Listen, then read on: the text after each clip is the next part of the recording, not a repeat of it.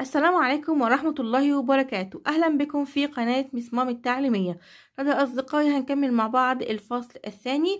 ده عندي ليسون 3 ده عندي الدرس الثالث إن شاء الله اشرحه معاكم بطريقة سهلة وبسيطة علشان تقدروا تشرحوا لأولادكم بكل سهولة. يا اصدقائي تابعوا معايا لحد نهاية الفيديو علشان تستفادوا. ما تنسوش تدعموني لايك للفيديو.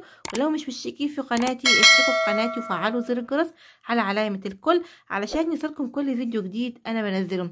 Let's start. ما شايفين معايا أصدقائي درسنا النهاردة بعنوان diagram of the human body. معناها هنا يعني رسم تخطيطي لجسم الإنسان. عندي كلمة diagram معناها رسم تخطيطي. Of the human body يعني لجسم الإنسان. هنا بيقول These diagrams have labeled for important parts of our body. Some parts we can see every day. And some parts are inside and we never get to see them. Put each label in the suitable place on the diagrams. هذه المخططات لها تسميات لأجزاء مهمة في أجسامنا. بيقول إن بعض الأجزاء ديت إحنا نستطيع أو إحنا يعني يمكننا رؤيتها كل يوم والبعض الآخر بيكون بالداخل وإحنا منقدرش إن إحنا نشوفهم. بيقول إنك أنت بيقول ضع كل label يعني كل تسمية من المسميات اللي موجودة دي في مكانها المناسب على ال diagrams على اللي هو المخطط تمام؟ شايفين معايا أصدقائي هو قصده على الكلمات دي أو الأسماء دي اللي هي label اللي هي الأسماء دي نحطها فين؟ نحطها على ال diagram طيب قبل ما نشوف مع بعض عندي ال diagram طب هو إيه عندي ال diagram زي ما بيعرفوا هنا عندي في الكتاب بيقول عندي diagram is an image that helps to explain how something works including labels showing the names of different parts بيقول يعني ال diagram اللي هو المخطط أو الرسم التخطيطي يعني عبارة عن صورة. الصورة دي بتساعدنا في توضيح كيفية بعض الأشياء يعني إزاي بعض الأشياء إن هي بتعمل. يعني هو بيشرح لنا إزاي الأشياء دي بتعمل. بيقول يعني زي زي إيه؟ زي عندي العناوين. العناوين عندي بتوضح لنا أسماء الأجزاء المختلفة. زي شايفين معايا هي دي عندي labels اللي هي العناوين. العناوين دي هنحطها عندي هنا على ال diagram على اللي هو المخطط عشان نعرف إن كل جزء ده بيعبر عن إيه وإيه اسم الجزئية دي أو اسم الحاجة دي إيه. يعني مثلا هنا عندي أول حاجة من الأجزاء اللي معايا أو label اللي هي العناوين. عندي heart يعني قلب. stomach يعني معدة. طبعا الكلمات دي كلها أخدناها في Connect Plus. هنا معايا veins اللي هي الأوردة skin الجلد bones اللي هو العظام muscles يعني اللي هي العضلات. هنا عندي أول صورة أصدقائي بتعبر عن إيه؟ هو طبعا هنا جايب عندي في الدايرة الصغيرة دي. طبعا ده عندي skin اللي هو الجلد. يبقى هكتب عندي هنا skin طيب الصورة اللي بعدها دي ال label هنحط عندي العنوان علشان نعرف الجزء ده بيشاور على إيه أو الصورة يعني اللي بتوضح الجزء ده بيشير إلى إيه. طيب عندي دي إيه أصدقائي؟ طبعا دي زي ما شايفين دي stomach اللي هي المعدة. يبقى هكتب هنا عندي stomach okay؟ طيب اللي بعدها شايفين معايا أصدقائي دي صورة إيه؟ طبعا هنا عندي هو جايب عندي جزئين أول جزء هنا عارفين دي إيه؟ ها دي عندي muscles اللي هي العضلات. يبقى هكتب هنا عندي muscles. تمام؟ طيب اللي جنبها؟ دي صورة إيه؟ شايفين معايا أصدقائي؟ طبعا ده عندي bones اللي هو العظام. يبقى هكتب هنا عندي bones اللي هو العظام. طيب الصورة دي ده عندي إيه؟ ده عندي heart اللي هو القلب. يبقى هكتب هنا heart اللي هو القلب. طيب وهنا صورة إيه؟ عندي دي veins اللي هي إيه؟ الأوردة. تمام؟ شايفين معايا؟ طبعا الجزء ده أخدناه قبل كده سهل وبسيط ما فيهوش أي حاجة. هنشوف اللي بعده. هنا عندي our skin protects us يعني جلدنا يحمينا. بيقول read the paragraphs then answer the questions. يعني بيقول اقرأ الفقرات أو الفقرات يعني وجاوب على الأسئلة أو ثم أجب على الأسئلة. طيب هنا عندي زي ما شايفين معايا بيقول our body organs يعني أعضاء جسمنا. أول حاجة بيقول organs يعني الأعضاء. أنا هكبر الصورة علشان نشوفها مع بعض كويس. هنا بيقول our body organs يعني أعضاء جسمنا. هنا بيقول organs are certain parts of our bodies that have a specific function. الأعضاء هي أجزاء معينة أو محددة يعني في أجسامنا وبيقول إن هي ليها وظيفة محددة. عندي كلمة function معناها وظيفة specific يعني محددة يعني ليها وظيفة محددة. Our bodies have many organs such as brain, heart, stomach and skin. بيقول يعني أجسامنا ليها العديد من الأعضاء زي المخ والقلب والمعدة والجلد. تمام؟ طيب شايفين معايا أصدقائي؟ طبعا دي عندي في الصورة دي صورة برين اللي هو المخ والصورة اللي جنبها طبعا دي إيه؟ دي عندي هارت اللي هو القلب. طيب اللي بعدها بيقول هنا some facts about skin يعني بعض الحقائق عن الجلد. بيقول our skin stands between us and the outside world. بيقول يعني جلدنا أو يعني البشرة بتاعتنا تقف بيننا وبين العالم الخارجي. our skin weighs about 4 kilograms يعني جلدنا يزن حوالي 4 كيلو جرام the skin is the largest organ in our body. بيقول إن جلدنا أكبر عضو في جسمنا. دي كلها معلومات وحقائق عن الجلد تمام؟ أو عن يعني البشرة. زي شايفين معايا هو جايب عندي دي صورة skin الجلد ودي عندي جايب stomach اللي هي المعدة. الفقرة اللي بعدها بيقول هنا عندي بيقول structure of skin يعني هيكل الجلد. طب يعني إيه عندي كلمة structure كلمة structure معناها معنيين. ممكن أقول عليها معناها هيكل ممكن أقول إن هي معناها بناء. بناء يعني لما أبني مجموعة من القواعد أبني مجموعة من البيوت بقول عندي structure يعني ببني. أما هنا عندي جاية مع skin مع الجلد معناها هيكل الجلد. طيب يعني إيه هيكل؟ الهيكل يعني طريقة يعني اللي بيتم بيها ترتيب أو تجميع أجزاء من شيء ما. زي ما هنتكلم هنا عندي الجلد وهنشوف مع بعض عندي الجلد ومكوناته والطبقات اللي بيتكون منها الجلد. طيب عشان كده هنا اخترنا كلمة structure معناها هيكل. بيقول structure of skin يعني هيكل الجلد. طيب أو هيكل يعني البشرة. Our skin is made up of multiple layers. هنا بيقول يعني جلدنا بيتكون من العديد من الطبقات. هنا عندي كلمة multiple فاكرينها أصدقائي؟ أخدناها عندي في دروس الماس وقلنا إن معناها متعدد أو يعني مضاعفات. هنا عندي multiple layers معناها طبقات متعددة.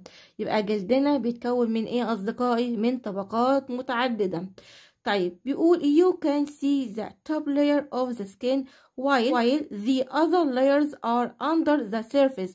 بيقول إن يمكنك رؤية الطبقة العليا من الجلد بينما الطبقات الأخرى موجودة تحت الجلد أو يعني تحت السطح. بعد كده بيقول the top layer is about half as thick as a sheet of paper. الطبقة العليا سمكها حوالي نص السمك بتاع الورقة اللي هو ال sheet of paper يعني اللي هو الورقة. تمام؟ الورقة العادية بتاعتنا. هنا عندي بيقول we make new skin all the time. بيقول يعني إن إحنا يمكننا صناعة جلد جديد طوال الوقت. وبيقول يعني بمرور الوقت الجلد ده أو الطبقة العليا من الجلد أو الطبقة العليا يعني من الجلد اللي بتكون موجودة على السطح بيحصل لها إيه؟ بيقول إن هي بتتقشر بيحصل لها إيه؟ بتتقشر والطبقة الجديدة بتاخد رحلتها على السطح. يبقى بيحصل عندي في طبقة جديدة بتنتج. الطبقة الجديدة دي بتاخد لها وقت. مع مرور الوقت دي مع مرور الوقت ده الطبقة اللي من فوق دي بتتقشر وبعد كده عندي بينتج طبقة جديدة. يعني ان الرحلة دي هنا بيقول this journey takes around 3 weeks بيقول إن الرحلة دي بتستغرق حوالي 3 أسابيع. Constantly يعني بيقول باستمرار making new layers keeps our skin healthy and perfect. بيقول باستمرار عمل طبقات جديدة ده بيحافظ على صحة جلدنا وكمان عندي واستكماله. تمام؟ تمام؟ زي شايفين معايا أصدقائي دي عندي layers of skin يعني طبقات الجلد. شايفين معايا يعني عندي top layer of skin الطبقة العليا من الجلد. تمام؟ ودي عندي إيه؟ الطبقة السفلى ودي عندي الطبقة الوسطى. تمام هنشوف مع بعض اصدقائي اللي بعده عندي importance of skin يعني اهمية الجلد هنا هنشوف مع بعض عندي اهمية الجلد number one it protects us from harmful germs يعني بيحمينا من الجراثيم الضارة number two it protects us from harmful sun rays يعني بيحمينا من اشعة الشمس الضارة number three it keeps fluids inside our bodies as water and blood يعني بيقول إن هي بتحافظ على السوائل اللي بتكون عندي داخل أجسامنا زي المية والدم. يبقى إيه أهمية الجلد؟ بيحافظ على السوائل اللي بتكون داخل أجسامنا زي المية والدم. number four it keeps our temperature constant. يعني إن هي كمان بتحافظ على درجة الحرارة ثابتة. عندي importance of skin يعني أهمية الجلد.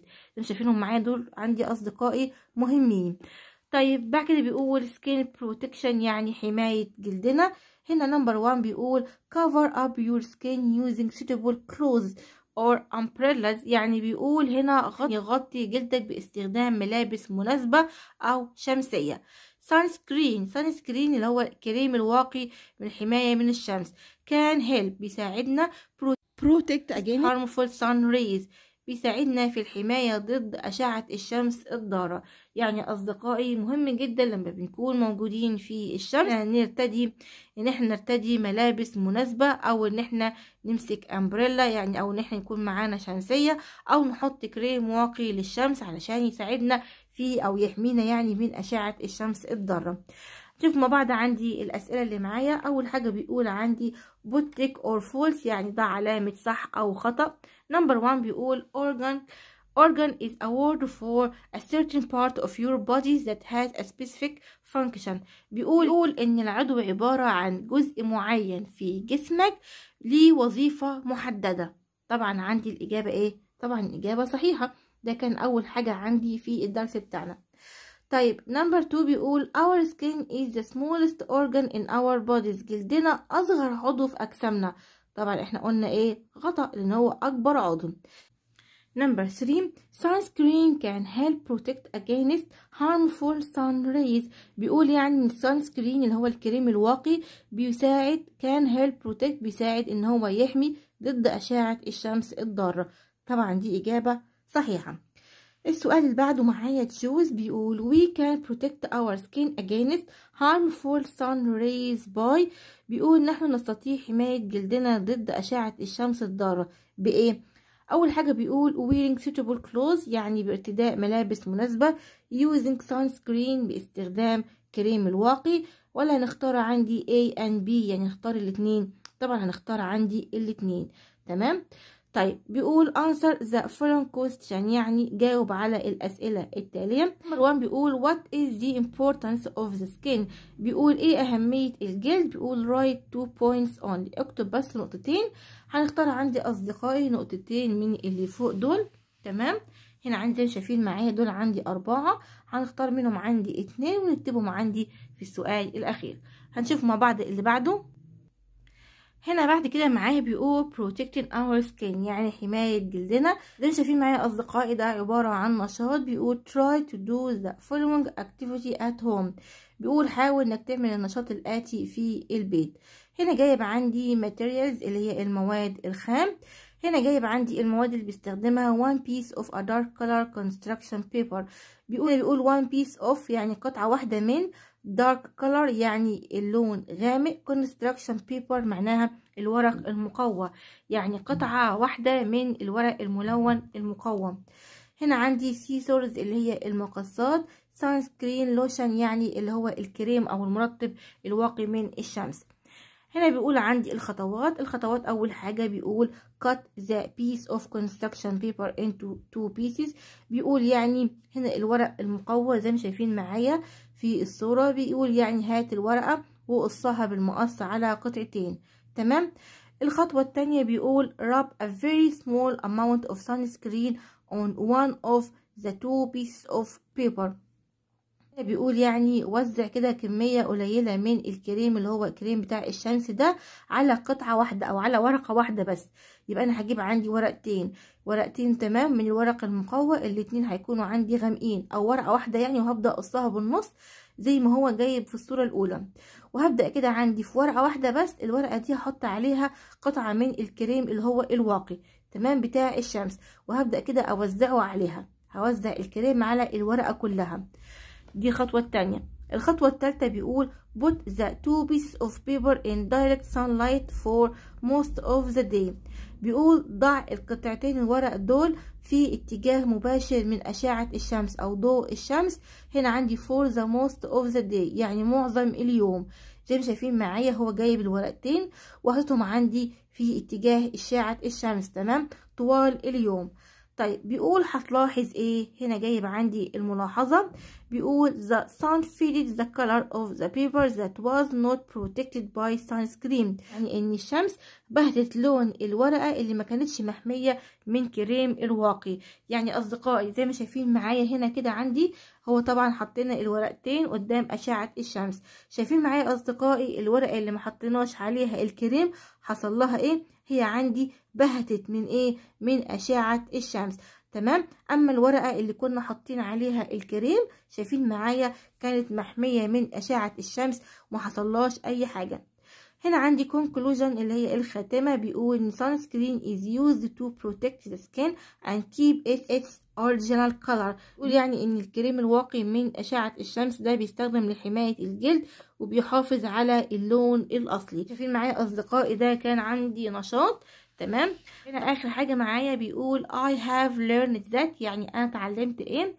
من خلال الدروس اللي فاتت دي أصدقائي بيقول habit العادة is a choice we make every day or regularly. يعني بيقول العادة دي هي اختيار إحنا بنعمله كل يوم أو بانتظام. طيب some healthy habits يعني بعض العادات الصحية هنا عندي أول حاجة eating vegetables and fruits. تناول خضروات وفاكهة. drink enough water يعني شرب مية كافي. do exercises daily يعني قم بعمل تمارين يوميا. طيب اللي بعدها هنا عندي some unhealthy habits. بعض العادات الغير صحية. عندي زي drinking soda يعني شرب المشروبات الغازية. watching TV for a long time. مشاهدة التلفزيون لفترة طويلة. Not washing hands after going to the bathroom. عدم غسل الإيدين بعد الخروج من الحمام. بعد كده هنا عندي جايب how the skin protects us. إزاي جلدنا بيحمينا أو كيف يحمينا جلدنا. أول حاجة زي ما قلنا أصدقائي من خلال درسنا نقولهم مرة كمان. It protects us from harmful germs يعني بيحمينا من الجراثيم الضارة. It protects us from harmful sun days. يعني بيحمينا من أشعة الشمس الضارة. عندي كمان بيقول it keeps fluids inside our bodies. يعني بيحمي السوائل اللي بتكون موجودة داخل أجسامنا. هنا عندي الكلمة دي fluids. هي نفس الكلمة لما أقول عندي liquid يعني سائل. يعني تحمي السوائل اللي موجودة داخل أجسامنا. It keeps our temperature constant يعني إن هي بتحافظ على درجة حرارتنا ثابتة. تمام؟ هنا بيقول ways to protect our skin يعني طرق حماية جلدنا. بيقول cover up your skin using suitable clothes or umbrellas. بيقول غطي جلدك باستخدام ملابس مناسبة أو شمسية. sunscreen can help protect against harmful sun rays. بيقول يعني إن الكريم الواقي من الشمس ده بيساعدك إن هو يحميك ضد أشعة الشمس الضارة. تمام؟ زي ما شفتوا معايا كده أصدقائي ده كان درسنا النهارده. يا رب أكون قدرت أفيدكم. لو عجبكم الفيديو ما تنسوش like و share و subscribe thanks for watching. Goodbye.